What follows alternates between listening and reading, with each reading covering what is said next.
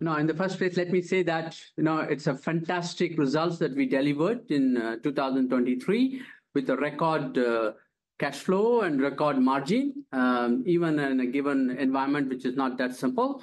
Um, it actually demonstrates the group's resilience, group's capability to deliver in a consistent manner.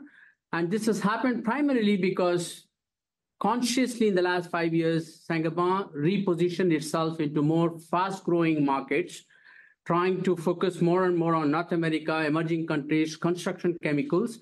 Second is the core of the whole strategy, defined and articulated, is all about sustainability, doing everything what we can do to bring more greener and carbon neutral solutions to the market.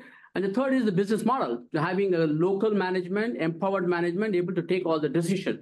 I think this all gives me confidence that we should, even if the market is going to be difficult, we should continue to do well. Even 2024, I am confident to have a successful year for Saint-Gobain. Coming to your question, well, you know, we are talking about particularly on Western Europe. It's true that in some countries we are seeing some signs of trough, but there are some countries it's going to take a little more time. But for Saint-Gobain, the exposure is just 12% in the new construction in the Western European countries. We are very focused on renovation, energy-efficient renovation. That's why it should have a limited impact on Saint-Gobain's performance. Okay, I'm looking at a note here from Morgan Stanley recently. They say you're a great play on renovation across Europe, but you're a cheap play. Your shares are seemingly undervalued.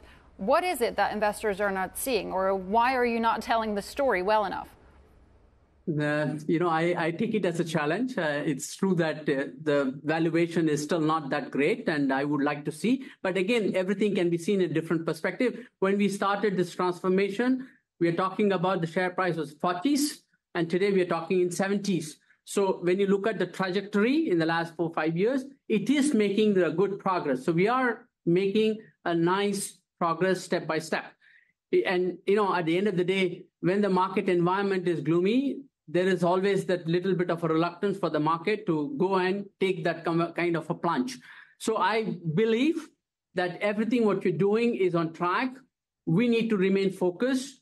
We need to deliver in a consistent manner. I think Saint-Gobain has demonstrated its resilience in the last three years by delivering consistently very good performance. I think we just need to do this in 2024, and I'm sure the market will start appreciating and valuing it the way it deserves to be.